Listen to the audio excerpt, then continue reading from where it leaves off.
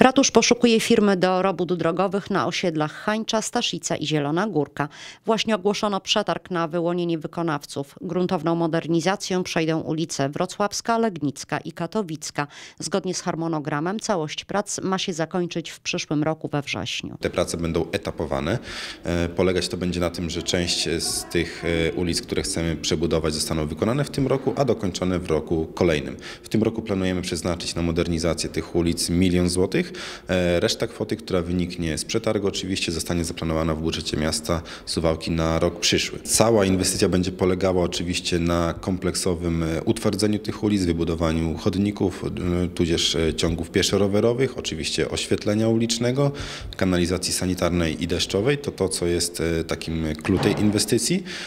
Na pierwszy ogień pójdzie przebudowa ulicy Wrocławskiej w latach kolejnych, czyli w roku 2018 będą to te pozostałe dwie ulice.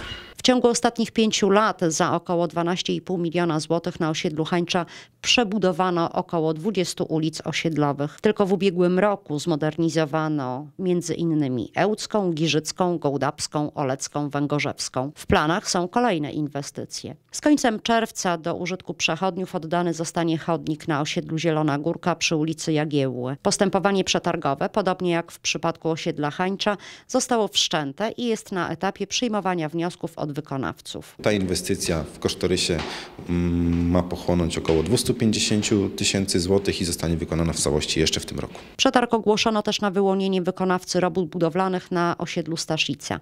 Po remoncie Ogrodowej i Pięknej przyszedł czas na przebudowę kolejnych Hugona Kołątaja i Miodowej. Wykonawca zobowiązany będzie zakończyć roboty do końca lipca 2017 roku. Na modernizację tych ulic miasto zarezerwowało w budżecie ponad milion złotych.